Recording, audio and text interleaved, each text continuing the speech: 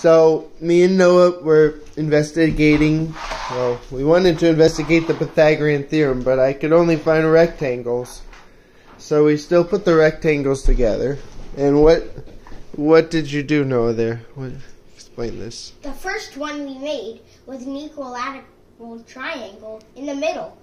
Now, why? T- show us that equilateral triangle. Right here. And how do you know that that's an equilateral triangle? Right and obtuse triangles have all diff- have different angles. An equilateral triangle is the only triangle with the same sides. The same sides? Yeah. And so, why would we want to make sure that there's an equilateral triangle in the middle? Because that's what it looks like. Because that's. But what if we made it. What if we moved it like that? And this. Oh, we didn't even tell people what this was. You know, I had the idea that this looks like something. What did I say? It, it looks like a plane propeller. A or plane propeller. Or a helicopter rudder. And then you said a helicopter rudder.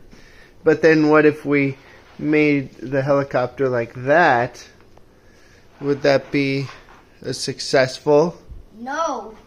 But then what Unless- did you do? Unless we, unless we made a, a rectangle, unless we made a square in the middle, Then we could make it a square in the middle and then it works. it and that looks and that looks like a medical symbol or a, or a plus sign. yeah. And then when I came downstairs just now, what had you done?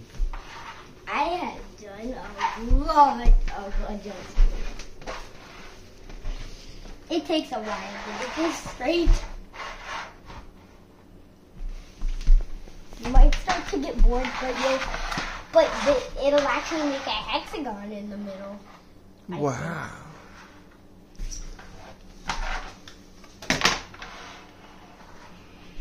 It, it also looks like another medical symbol or the sun. Hey. Very good.